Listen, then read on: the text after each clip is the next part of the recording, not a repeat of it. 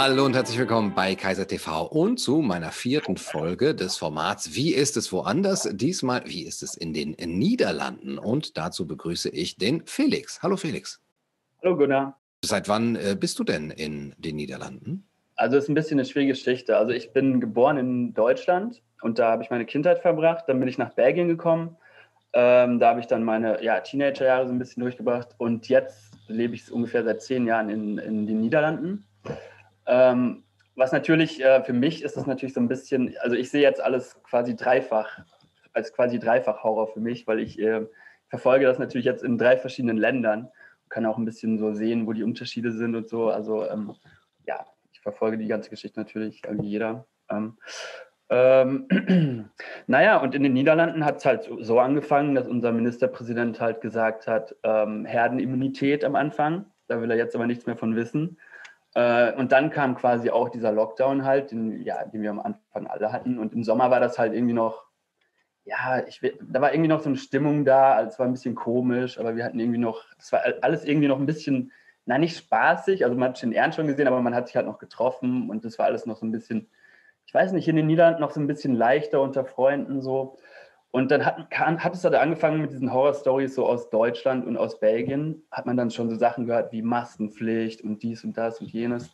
Und hier in Holland war es halt echt eine lange Zeit so, ja, das ist, es gab halt keine Maskenpflicht, alles hat sich noch ziemlich frei angefühlt. Und das kam dann halt so echt viel später alles erst, so Schritt für Schritt. Ich weiß auch nicht genau, woran es liegt, ob es jetzt irgendwie daran liegt, dass in Holland, dass die Politiker vielleicht denken, so, die, hier braucht man ein bisschen länger, dass sich die Leute da irgendwie, ähm, ja, irgendwie fügen zu äh, solchen Regeln oder so.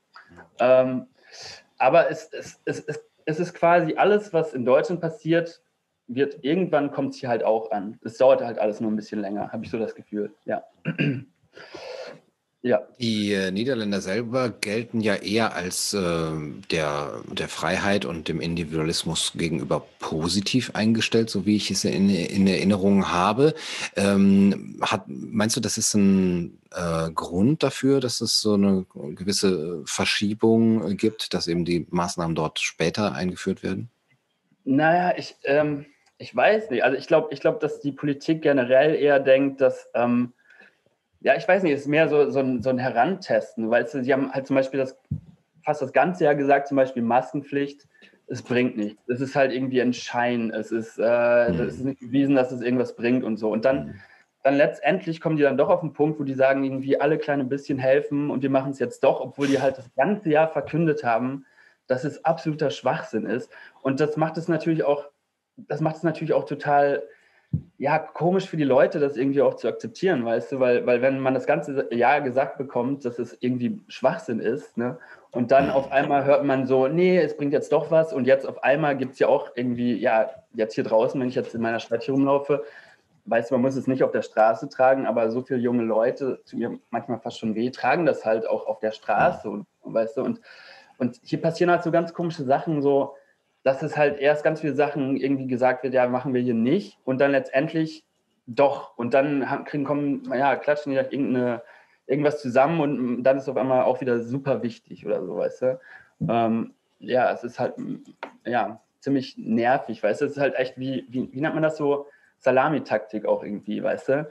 Es fängt halt immer so an, ähm, weißt du, in den Medien kommt halt immer so, ja, da kommt halt irgendeine Umfrage, dann haben die irgendwie 2000 Leute gefragt irgendwie und dann heißt es auf einmal in den Medien so von, wo bleibt die Maskenpflicht? Wir wollen äh, Leute äh, verlangen nach der Maskenpflicht. Und das ist dann irgendwie so eine Umfrage, wenn man sich die mal richtig anschaut. Ja, blödsinnig, so ein paar Leute gefragt halt. Und dann noch wahrscheinlich Leute, die dann irgendwie noch da irgendwie zu der Zeitung gehören oder was auch immer.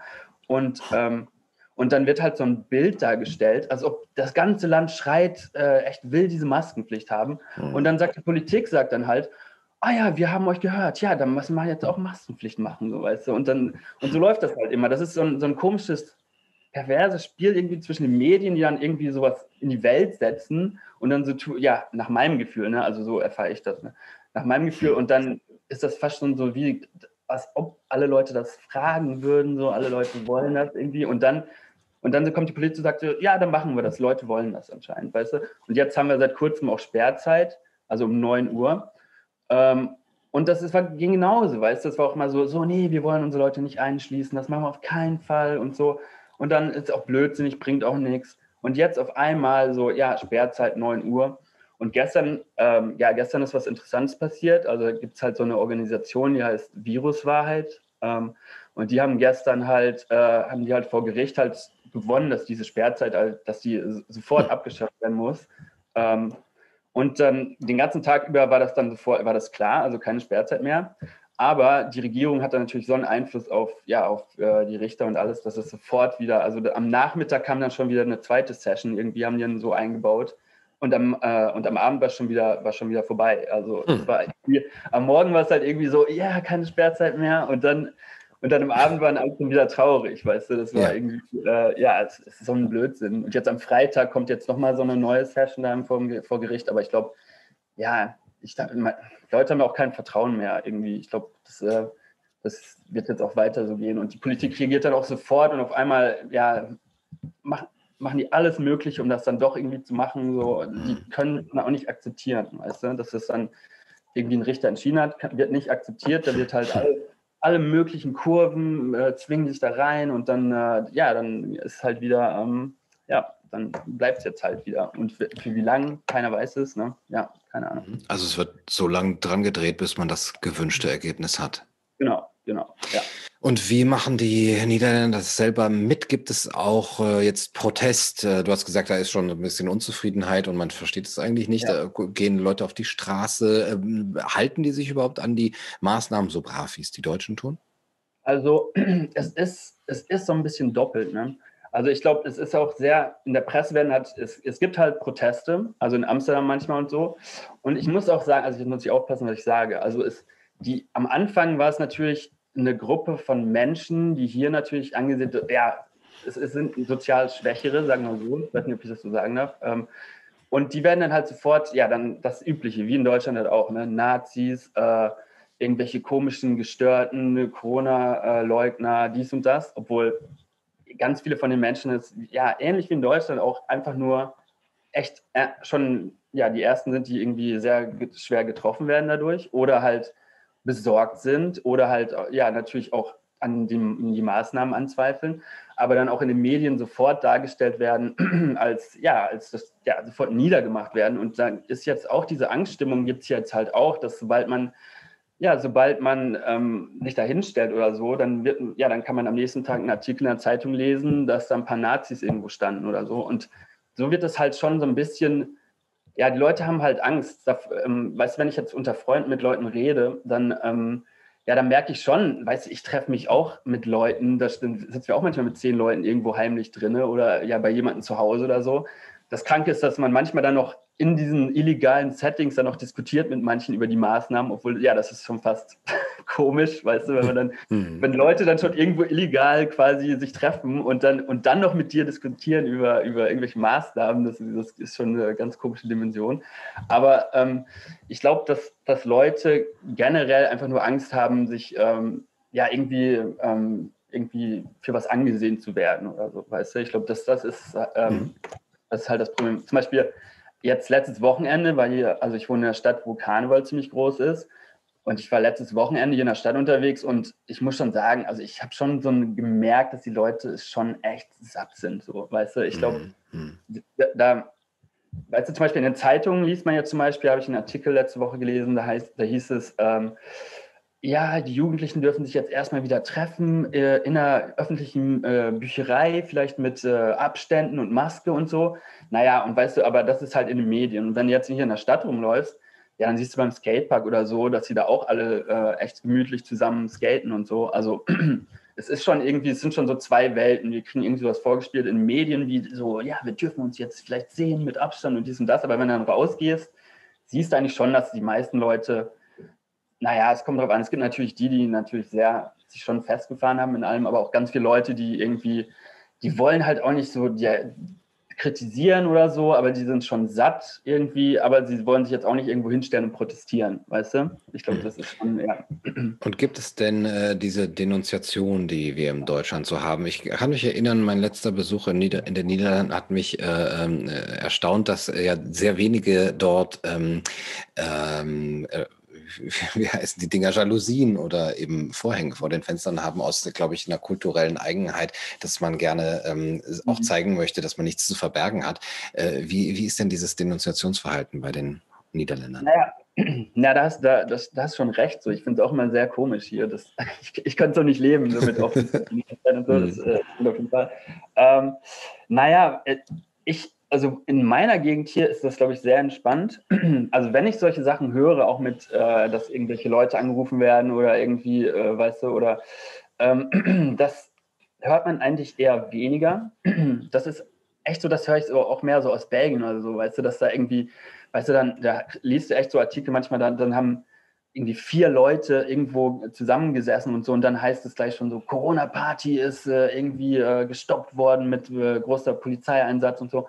Und das hört man hier manchmal, also das hört hier, man hier manchmal auch, ähm, aber irgendwie in meiner Ecke jetzt nicht so. Ich glaube, so ähm, die Provinz, wo ich wohne, ist halt noch ziemlich entspannt. Also das höre ich echt so mehr so, ja, wenn du tiefer Holland reingehst, so tiefer in die mhm. Niederlande, dann hört man manchmal auch schon so Stories, aber ich ja, ich weiß nicht. Ich, ähm, ich frage mich auch manchmal so, dass das Bild, was man in den Medien sieht und wie es dann in echt ist oder so, ich glaube, das, das ist manchmal auch sehr unterschiedlich. Ähm, ja, ja äh, das wäre meine nächste Frage gewesen. Wie gehen die Medien mit dem Thema um? Ich schätze mal, das ist doch durchaus vergleichbar mit dem, wie sie hier agieren. Ja, also auf jeden Fall. Es ist äh, sehr einseitig. Also es, ähm, also alles, was pro Regierung ist, äh, ja, man hat echt das Gefühl, so, dass, dass diese Zeitungen, manchmal frage ich mich echt so, das ist fast wie so ein Streit gegen die Bevölkerung, also mit der Regierung zusammen oder so. Weißt du, gestern auch, wo dann diese Sperrzeit weg war und dann kommen so Zeitungsartikel wie so, ja, äh, wann, äh, wie, wie, kann die Regierung jetzt die, äh, das wieder lösen, dass die Sperrzeit wiederkommt und so, weißt du, es ist halt so alles, alles ist halt echt mhm. darauf ausgelegt, dass, dass keine Kritik ähm, jeder, der Kritik hat, äh, wird irgendwie, da werden irgendwie Sachen ausgegraben von früher oder, oder irgendwelche äh, komischen, ähm, ja, werden da, wird da irgendwie irgendwelche dreckige Wäsche gesucht, auf jeden Fall. Ne? Mhm. Und äh, es ist, ähm, ja, es ist zum Heulen. Also, also die, die Nazi-Keule gibt es dementsprechend auch. Ja, ja, ja, auf jeden Fall, ja. ja, das ist äh, ziemlich ähnlich, ja.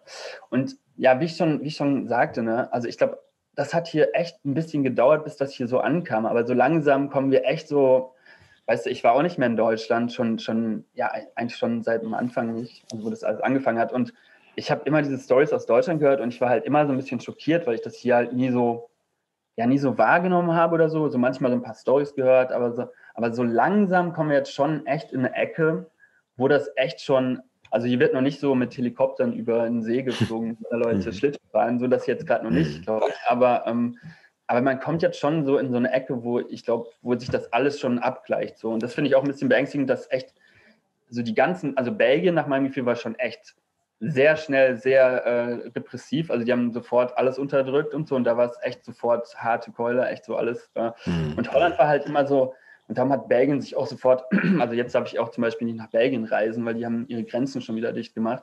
Weil die dann denken, ja, in Holland ist viel zu viel erlaubt und so und das wollen wir jetzt hier nicht reinlassen und so. Ne? Mhm. Und ähm, aber, aber so langsam merkt man sich schon, dass die Länder sich schon alle sehr, ja, alles, das wird alles halt dasselbe so. Und ich glaube, ähm, ich, ich finde Deutschland hat immer so ein Vorbote für was hier noch kommen wird oder so. Mhm. Habe ich das Gefühl, weißt du? Ja. ja. ja. Auf jeden Fall. Ja, dann würdest du wahrscheinlich einem äh, Maßnahmen- und stressgeplagten Deutschen nicht unbedingt empfehlen, jetzt zur Erholung äh, in die Niederlande zu fahren? Ähm, naja, ich weiß nicht. Ich glaube, es kommt darauf an, wo man hinfährt. Ne? Also mhm. was auf jeden Fall vorteilhaft ist, ist, dass man, wenn du hier, ja, ähm, ich weiß, äh, sind in Deutschland sind auch noch alle, ist, ist wahrscheinlich auch noch geschlossen. Mm, ja. Naja, hier auf jeden Fall, also zum Shoppen auf jeden Fall nicht. Oh, Weil okay. es ist, nicht, es ist nichts offen.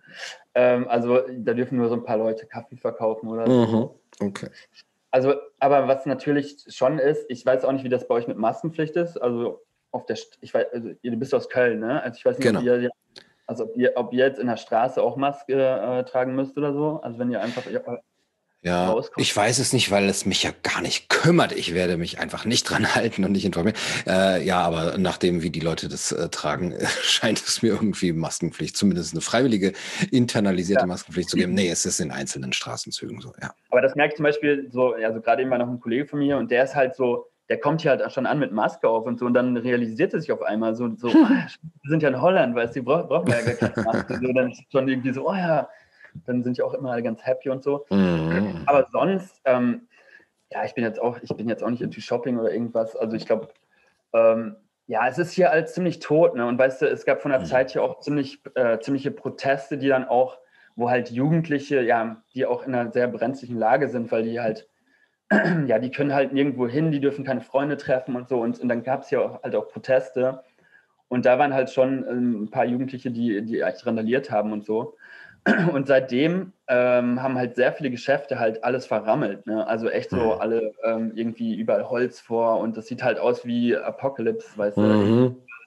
Schlimm. Und jetzt, ja, und die, diese Sachen haben die jetzt alle, alle dran gelassen. Und jetzt, wenn jetzt manchmal rumläufst, so, dann läufst du halt in leeren Straßen und dann alles noch so mega verrammelt und so, was dann echt schon ein sehr unschönes Gefühl ist. So, mhm. weißt du? Aber jetzt, die letzten paar Tage war es halt sehr gutes Wetter. Und dann kommen auch alle raus, dann gibt es halt wieder so ein bisschen Leben. Aber wenn es jetzt irgendwie schlechtes Wetter ist oder so, dann, dann fühlt es sich manchmal schon wie, im, ja, wie in so einem schlechten äh, 80s äh, Apocalypse-Movie oder so. Ja.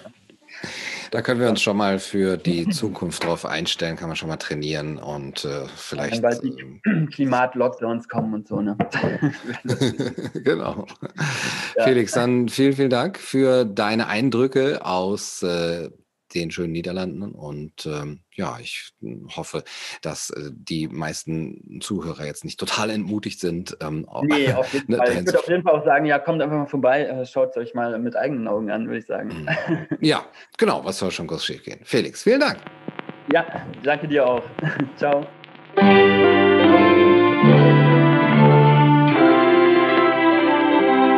Zog durch alle Welt und suchte nach dem Glück. Ein Wind des Schicksals führte mich nach Haus zurück.